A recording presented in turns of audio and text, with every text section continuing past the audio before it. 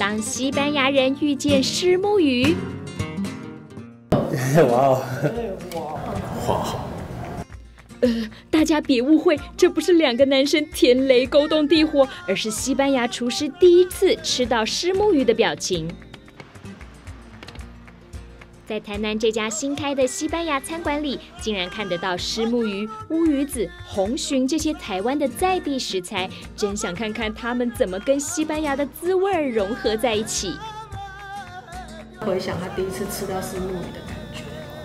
No, me gustó, fue, no, la, la, verdad es que fue muy agradable comer el pescado, la, la combinación así entre la gelatina y así les, es muy agradable, sí. Ah, le hice con una, con una salsa de tomate y una fritada.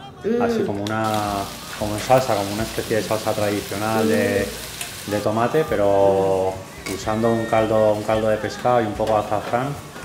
Creo que era la, como la manera más, más, más tradicional, más significativa de ver ese pescado cocinado a la española, ¿no? 没想到我们的牛奶鱼居然可以做成这个样子，而且还有其他惊喜哦。